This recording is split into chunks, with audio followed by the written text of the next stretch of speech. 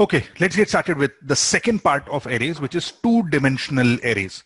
We had seen one-dimensional arrays earlier, and now we have 2D arrays. Also, a lot of times students tend to struggle with these programs, or they, they are generally not comfortable with uh, the programs involving 2D arrays. But honestly, if you just tackle them little smartly, or if you can just figure out some little patterns in there, you'll be able to manage this easily. So we'll try and do uh, two things over here. One, obviously, we'll try and understand the whole idea behind 2D arrays, but we'll also find some, some shortcuts, some little tricks using which we can write these programs easily or we can manage these programs easily. Okay, let's first try and understand why does the concept of a 2D arrays exist? Why do we have this concept of 2D arrays? Now, suppose if I have some data, say like, uh, say a matrix, now over here, what you can see is, over here you can see that I have a 3 by 3 matrix over here, which, which has some values. Now suppose if I'm working with this particular data, then how do we go about it? Now observe this. See, suppose if at all I tell you, suppose I wanted to give you this value, say 3 from this matrix. Now, if I tell you second row, now if I tell you just the second row, now you don't know which is the value that I'm talking about because it could be any value from this row or maybe if at all I say third column, when I say third column, then again you don't know which is the value that I'm talking about. It could be any of the values on this particular column. So now if I want to give you this value, say 3, I will have to say second row and third column. Now only when I give you both the instructions, only when I give you the row number as well as the column number, you will be able to access this particular value. So what I've understand is that if we have data, something like a matrix, now over here for accessing any given data, I need two references. One, the row number and second, the column number. So that is what is needed for accessing any value from a matrix. Now I'm just thinking that if at all I want to store this matrix in some particular memory, then how do we do it or how do we go about doing it? See, as of now, the only method that we know for storing multiple values is an array, a single dimensional array. So suppose if at all, if at all I store this matrix in a single dimensional array, then it'll look something like this. My first row, six, two, five, all have been added over here. My second row is added over here. My third row is added over here. So what I'm trying to do is that whatever is the matrix that I have over here, I'll store it in this array like this. So suppose if I store it like this. Now this can be done. This can be easily done but understand if I want to refer to a value, now you saw this, that if I wanted to refer to this value, I need to give you two references. One is the row number and the other is the column number. Just row number is not going to help you. Just column number is also not going to help you. So what I do here now is, suppose if I have this array, over here for accessing any given data, I have only one reference, which is this index. So I have these indexes. Now what I can do is I can use these indexes either as a row number or either as a column number. Now suppose I assume that I'm going to use these indexes as row numbers, then again what I find is just by using row numbers, I'll not be able to access the data. Or maybe if at all I use these indexes as column numbers, even by using them purely as column numbers, I'll not be able to access the data. So the problem that I'm facing as of now is I'm, I'm now looking at the data which needs two references to get access, but the data structure which is available to me for storing it, which is an array, it has only, only one single index and which can either be used as a row or a column. So I've just come to a conclusion that using a single dimensional array or this 1D array that you see over here is not going to help me for working with the data in uh, a matrix.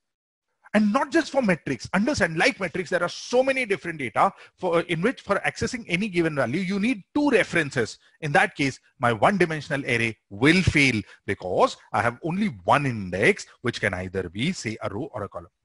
So apne ko yahan zarurat thi एक ऐसे tool की जिसमें I could get two references so that I could use one of them as uh, the row number and the other as the column number. That is why for working with data like a matrix or for working with data like, uh, uh, like a matrix which needs two references to access any value, we introduce another type of an array called a two-dimensional array. Now we call it as a two-dimensional array or a 2D array is because over here I'll get two references to access any given data. Similarly, we can have a 3D array, we can have a 4D array, and we can have an n-dimensional array for that matter. So what I'm now going to do is I'm going to store this matrix not in the kind of uh, uh, array you see over here, but what I'm going to do is I'm going to save it in an array that looks something like this. Now over here, just observe this. I've created an array. Suppose this is an array A that I have created. This array now has two references the row numbers and the column numbers. Now, moment I say that it's an array, the indexes will always start at zero. So over here, if you see, I've, I've uh, started with zero. So these are my row numbers, zero, one, and two. And these are my column numbers, which is again zero, one, and two. This is what I've got. So over here, what happens is each memory location now, if you see, has two references or two indexes. Observe. Now for this particular uh, uh, for this particular uh, memory location, my index is 0, 0. This index is 0, 1. This index is 0, 2. When you're putting indexes, row number first and column number then. Always row numbers first. Now this is 1, 0, 1, 1, 1, 2, 2, 0, 2, 1, 2, 2. So over here, you can say that for accessing each memory location, I have two indexes. So over here, if you talk of an ordinary array, now had I written in array A with say index say 6, so what it will do is it will go to this location, which is six. But understand when I have an array like this, if I say just A1, it doesn't make any sense because now it means row number one, it could be any of these three values. But if I say A12, what this will mean is row number one and column number two. Now you know that this is the value that I'm talking about. So this is how I have an array which will provide me with two references, the row number and the column number using which I can access the data. Now this is what is a two-dimensional array. Now, see, we will be working on all the programs related to, uh, to metrics today. So this is what, uh, this is how we write a matrix. And this is how I'm going to keep drawing on all my slides so that you can understand it well because it looks like our, uh, our um, normal metrics, right? But understand just to make things more convenient, just to make things uh, say more relatable, I've just drawn a table or a grid like this over here. And I'm telling you that this is what a matrix is. See, okay, on paper, you can draw it in whichever the manner you want, but practically when you talk of the memory, memory में ऐसा grid तो बन नहीं सकता है. You cannot create a grid like this. The question now is, or the argument now is, then how do I go about creating a matrix like this in the memory? How do I do that? So understand on paper, I've drawn it like this and I'll continue drawing like this because it is easier to relate to. But understand when you talk of memory, the memory is always allocated in consecutive locations. So now if at all you ask me that whatever is this array that I've drawn over here or whatever is this 2D array that I've drawn over here, how exactly is it created in the memory? Now, please understand, it is actually created in the memory like this. It is always on consecutive locations. I cannot create a grid like this. So actually, my first row, see this first row, 0, 0, 0, sorry, 0, 0, 0, 1, 0, 2. Now, these values will come in first. Then I have this, these values. Then my next values will come and then this, and then this, right? But the difference between the previous one-dimensional array and this array is that for each memory location, now I have two indexes, 0, 0, 0, 1, 0, 2, 1, 0, 1, 1, 1, 2, and so on.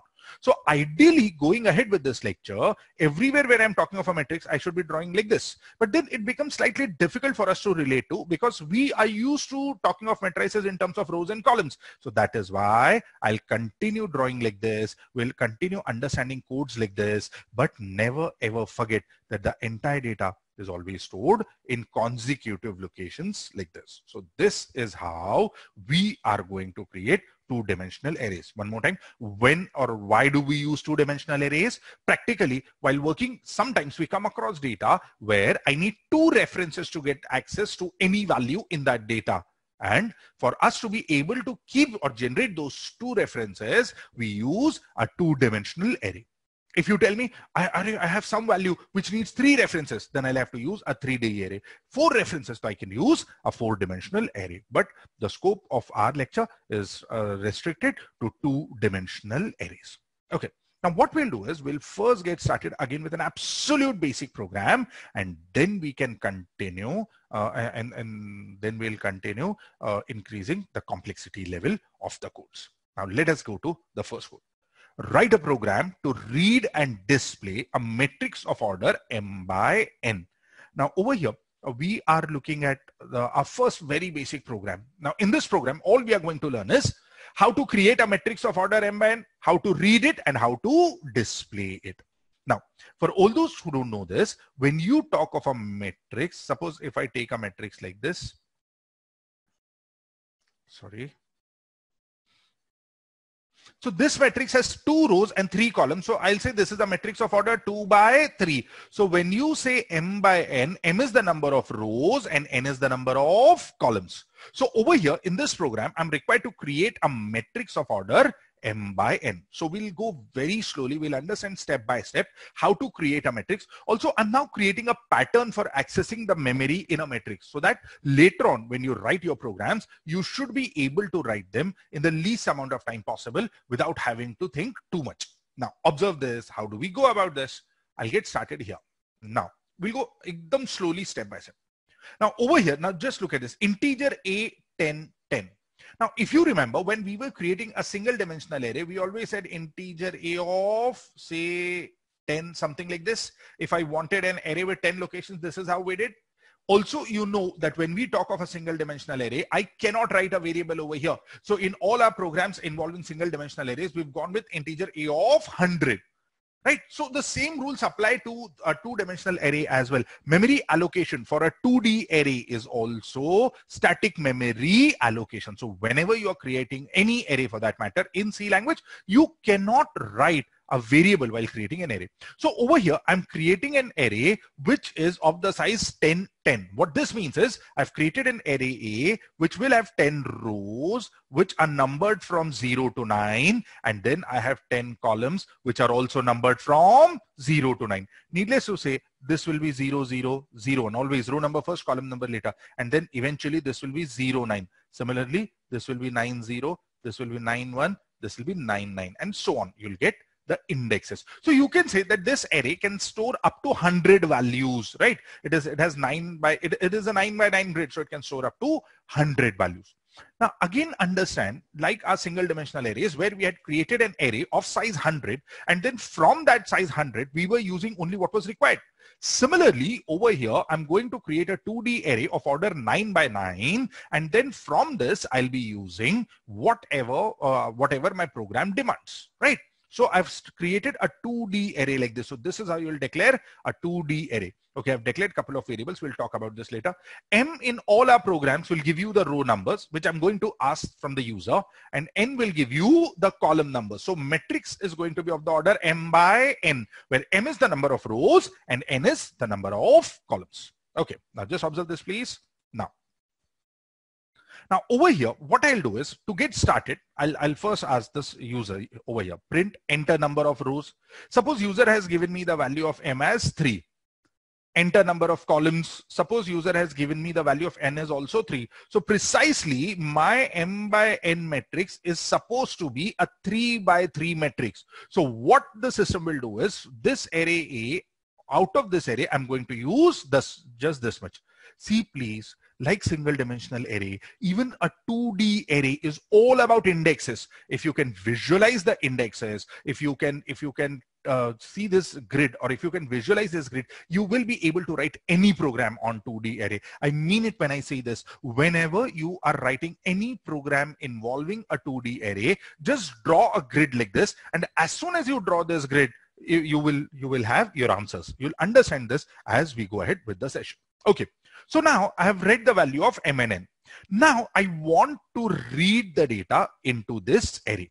Now please try and recollect when we were reading the data in a single dimensional array, what was the kind of code that we were writing?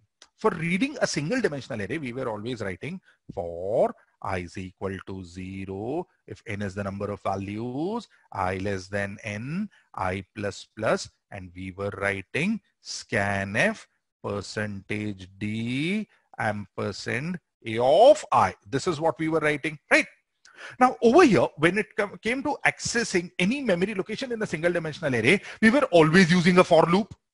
The reason for using a for loop, uh, the reason for using a for loop over here is, see over here now, whatever indexes that I need to generate, I wanted someone to generate those indexes for me and that is what was the role of I. So for loop over here actually was doing two things for me. One, it was ensuring that the statements repeat the desired number of times and second, it was also generating the indexes for me. If you see this variable I that I'm using over here is actually generating indexes for us. But understand now while working with a 2D array, I want two indexes to be generated, the row numbers and the column numbers. So what I've decided is that I'm going to use two for loops. I'm going to use nested for loops for working with a 2D array. Now, why am I going to use a nested for loop or why am I going to use two for loops? The first for loop will help me generate row numbers and the second for loop will help me generate column numbers. So with this little information that I need two arrays for accessing all the memory locations of a 2D array, or I need two, uh, two for loops for generating two different indexes, I'll just go to the loop. Now just understand how to write this particular loop. Now this is the loop that I'm talking about. Now I'll go very slowly. I'll try and execute this loop for you. Now, I'm going to write two for loops. Now, I'll give you two little shortcuts for uh, writing these for loops. See, I'm required to read a matrix of order m by n. So what I'm going to do is my first for loop is going to read uh, or going to give me the row numbers. And the second for loop is always going to give me the column numbers. So I'll always go like this.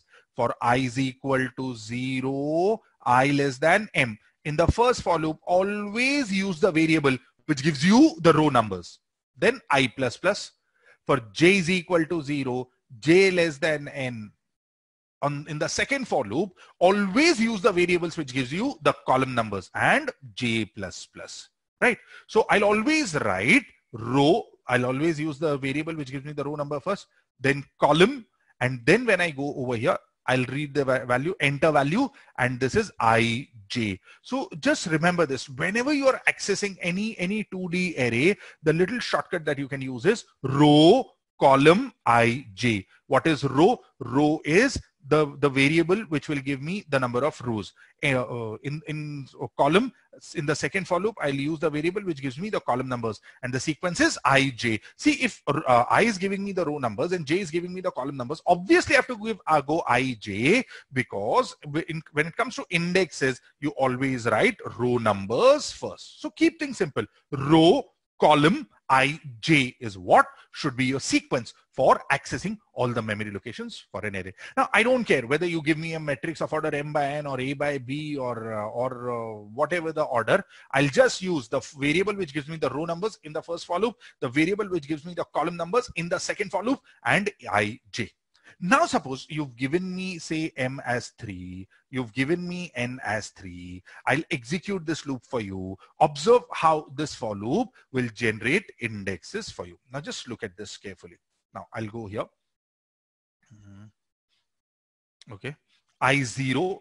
Now observe this. M ka value is 3. So 0 less than 3 is true. Come down.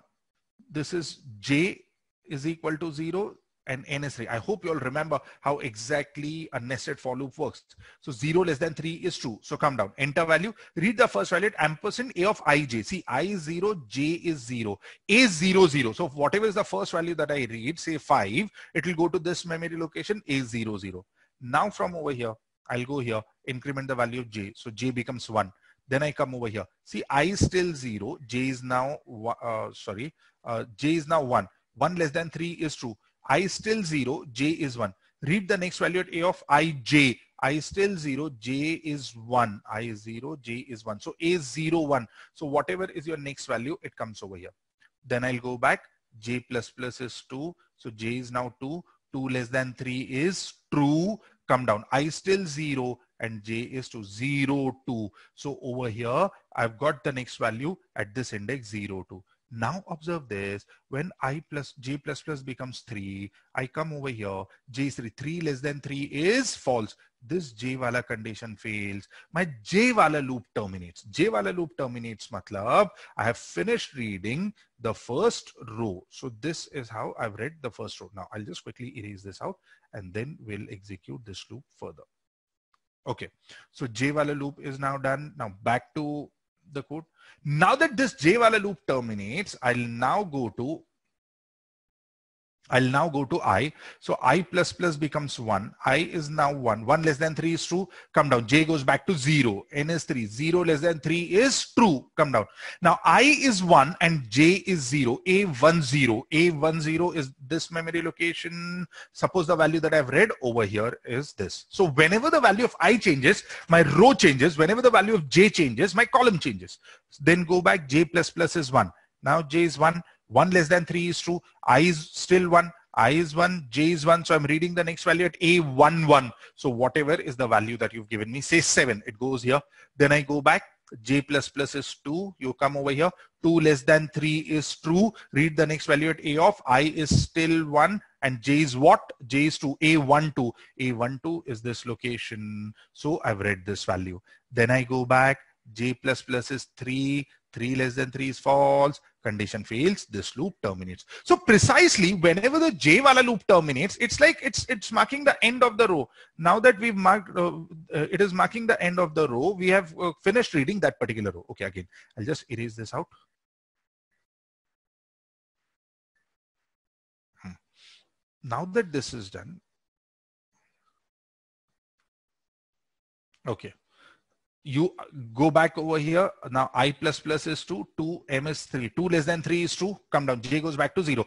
0 less than 3 is 2. So i is 2, j is 0. So I'm reading my next value at 820. 820 is this memory location. So I'll read the value over here go back j plus plus becomes 1 extremely important that you know nested for for uh, working with metrics. 1 less than 3 is true read the next value at i is 2 j is 1 2 1 2 1 is this memory location. So suppose i've taken the value over here.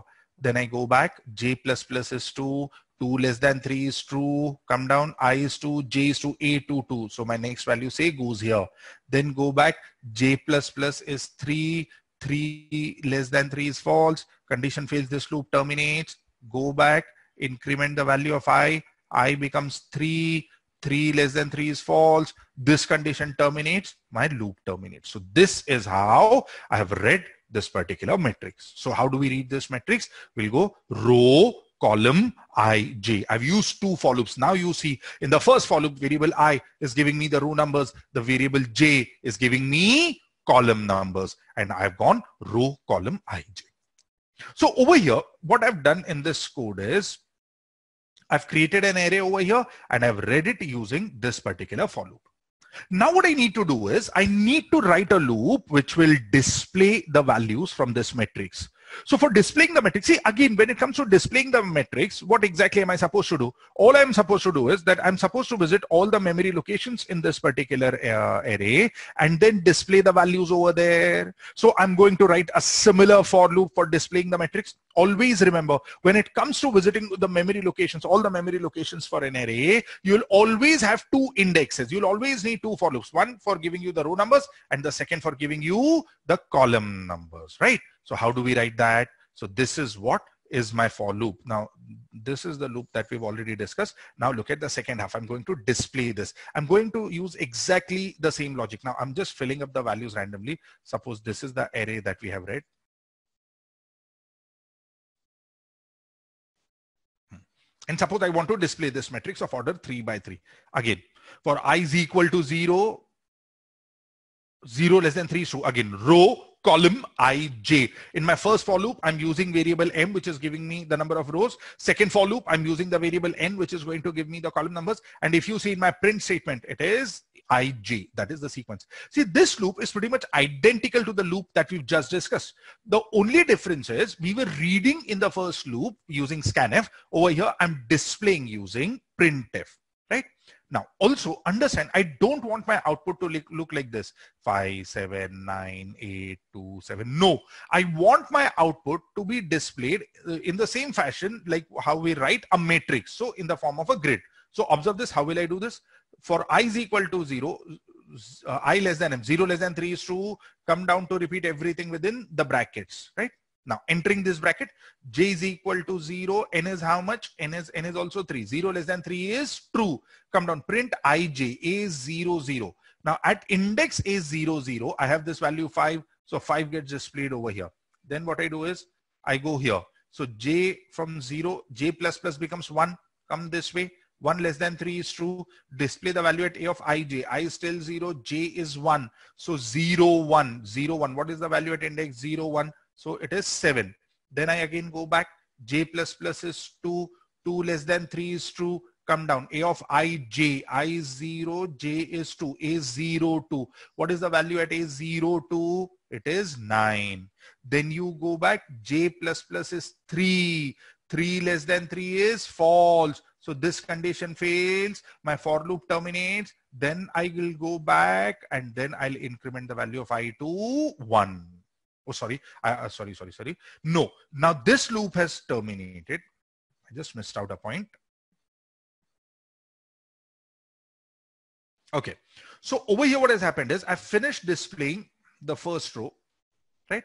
Now this condition j less than n has terminated, but I'm still inside these bigger brackets. So what I'll do is now that this for loop is gone, I'll just come out. I'll execute this slash n now, printf slash n. It'll take the cursor on the next line. Now these brackets are over and now I'll go and increment the value of i to 1. You remember those programs that we had taken on patterns nested for me, where what we were doing was we were just displaying say one row at a time and uh, then um, uh, then the slash n was taking the cursor on the next line. Now something similar I've done over here. As soon as I've finished uh, displaying the first row, what I've done is I've just uh, executed this slash n. This slash n will get executed only once and that is at the end of the loop. Okay, now this starts again for the for the next step. So i plus plus is 1. So i is 1. 1 less than 3 is true. Come down. j goes back to 0. n is 3. 0 less than 3 is true. Display the value at a of i j. i is 1, j 0. a 1 0. The value at a 1 0 is 8. Now the reason why it has gone on the next line is because the slash n was executed in the previous step. Now that this is over, I'll go over here. i plus plus is now 1. 1 less than 3 is true i is 1, j is 1. So display the value at a11. The value at a11 is 2. Then again go back. j plus plus is 2. 2 less than 3 is true. Display the value at a12. Now this is a12. What is the value at a12? It is 7 again. Go back. i plus plus is 3. 3 less than 3 is false. This condition fails, but I'm still inside these bigger brackets. I'll again come out, execute this slash n, will take my cursor on the next line. So every time jwala loop terminates, this slash n will execute and then I'll go back and i plus plus. Now it was one, it has now become two. So that is how this loop is executing. This one more iteration. I'll just again erase out these little things. Okay.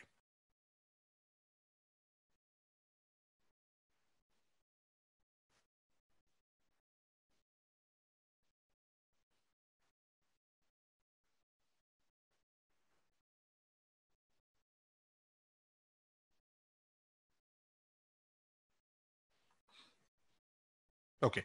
Now going further, i plus plus is now 2. 2 less than 3 is true. Come down. j goes back to 0. 0 less than 3 is true. Print a of ij. i is 2, j 0. What is the value at uh, uh, 2, 0? The value is 12. So that comes over here. I hope now you know why it has gone on to the next line. Now I'll go back. j plus plus is 1. 1 less than 3 is true. A of ij. i is how much? i is uh, 2 and j is 1. So A21, what is the value at A21? This is 5. Go back, J is 2. I come over here. 2 less than 3 is true. Display the value at A22. So A22 is 19. Go back, I is 3. Now J has become 3. 3 less than 3 is false. This condition fails. This for loop terminates. Come out, it will execute slash in.